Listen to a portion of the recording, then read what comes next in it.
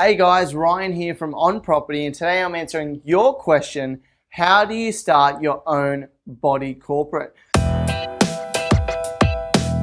So I've got an email here from Nick who asked Hi Ryan, how do you start your own body corporate? So, a body corporate, in case you don't know, is the governing body that helps you manage a unit block or a um, group of townhouses uh, basically, a group of people that share common areas like driveways or gardens or elevators or pools, all of those different stuff. So if you are on a strata title and you are sharing with other people, then you're going to need someone managing the body corporate. Now that someone can be yourself or it can be a professional company that does it for you. However, it is not legally required that you have a professional company do it. So you can do it yourself. So I've done some research on this to find out how you can do it yourself and to take some of the steps. It is a very technical topic. So if it's not something that you're actually interested in, then I would suggest um, going through to another post. But if you are interested in running your own body corporate, this will give you a good overview. I won't go into the full technical details of everything that needs to be done, but I'll give you an overview of what you need to do. All right, let me get my notes out. So you, I said, as I said before, you can do it yourself, but you do need to be aware that you will be taking on some responsibility and liability if things go wrong or if you're not keeping up with legislation or your insurance lapse. Uh, so there will be some personal liability if you decide to run this yourself. It can also be a lot of work. There is a steep learning curve and things that you need to know about running your own body corporate. So there's going to be a lot of time needed to be put in to understand how to do it. And then in the running of it, there's going to be time and management there as well. Uh, a great resource if you're interested is strataman.com.au forward slash DIY html and he has a do-it-yourself strata kit for people in New South Wales. It's about $400, so it's not super cheap, um, but that will give you a kit to go through everything. So the first things that you're going to need is you're going to need a chairman. So this is the person that's running the show. You're going to need a treasurer, which is someone that's going to manage the finances. From my knowledge, the chairman and the treasurer can be the same person. You're also going to need a secretary, and this is a person that's going to minute the meetings that you have, whether you have them on an annual basis or whether you have them more frequently. So you're going to need someone to run the show, someone to manage the money, and someone to minute the meetings. If you decide to do it yourself, you're going to need to understand the basics.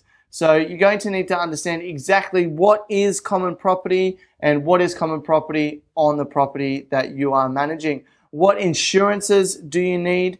Um, and you also need to get valuations done on a regular basis to ensure that these insurances are kept up to date. You need, to know how to comply with fire regulations. Uh, you need to know about the legal requirements for safety audits for the property. You need to know the difference between a sinking fund and an admin fund and how you manage that. You also need to know how to manage the body corporate accounts the bank accounts, and all of the finances. So there are um, quite a lot of things that you need to know about. You don't require specific qualifications to run your own body corporate in Queensland. However, I'm not as 100% sure if that's the same across every state. So that would be something that you would need to look into. One thing I want to say before I go on and um, start to talk about the things that are going to take a lot of your time, I want to let you know that from what I've been researching from the forums that I've been to and the websites that I've been to, it seems that running your own body corporate can work well if firstly you have a good relationship with the people and the other owners in your block. But secondly, it seems like for it to go really well, uh, one of the common requirements, not legal requirements, but just it's probably a good idea, is to have a lot of owner occupiers in your block.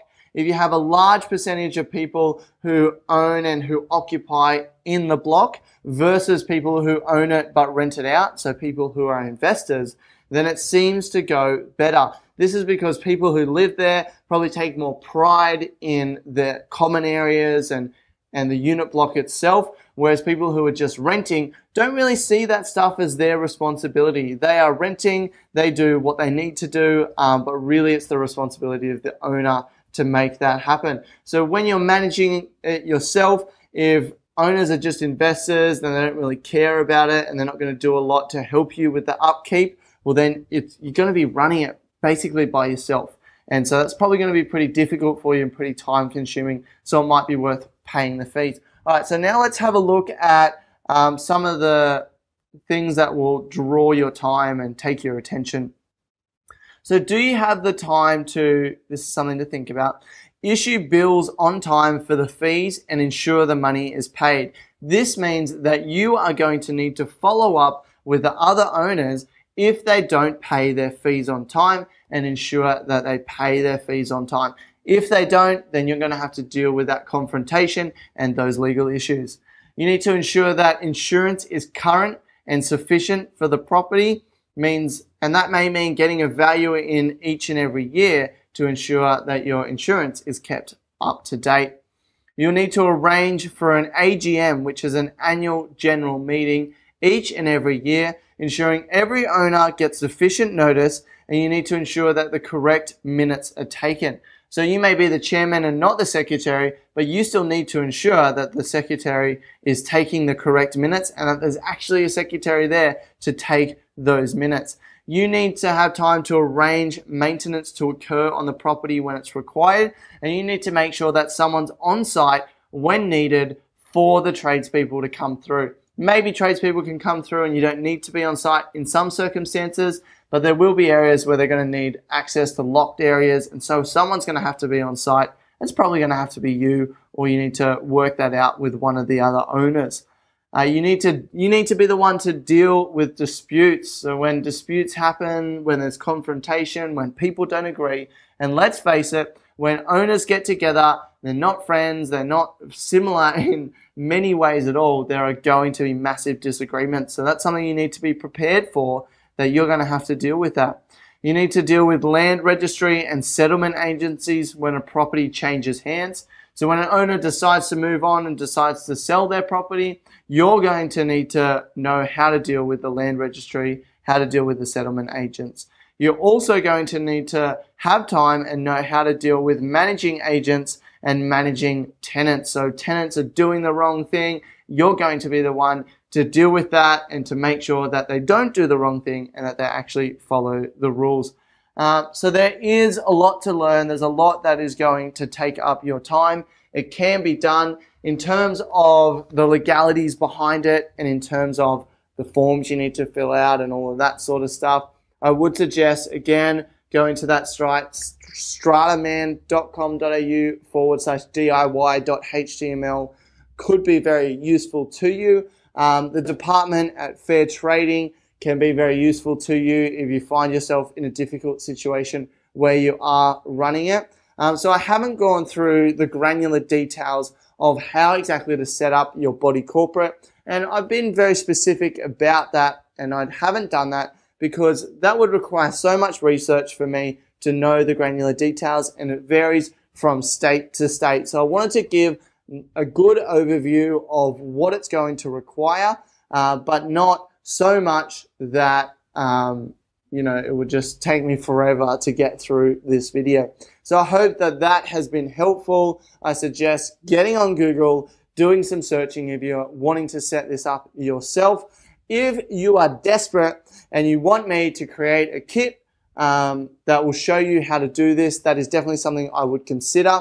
I'm about to launch uh, a kit for owners who are leasing their properties themselves. So once I've done that, if the demand is there, I'm happy to go ahead and set up a body corporate kit to help people manage their own body corporate. But the market for that's going to be so much smaller. It's going to be a pretty expensive product, you know, a couple hundred bucks or something like that. But if that's something that you want and you want me to go out and do the research for you, just get in contact with me, ryan at onproperty.com.au or go to onproperty.com.au forward slash contact and send me an email through the contact form there. So I hope that that's helped answer your question, Nick. Sorry that I couldn't go into full detail, um, but it should give you an overarching view. You can now assess whether or not you think you have the time and the stomach to go after this. If you still think it's a good idea, then keep pursuing it, and I wish you the best of luck. Until tomorrow, remember that your long term success is only achieved one day at a time.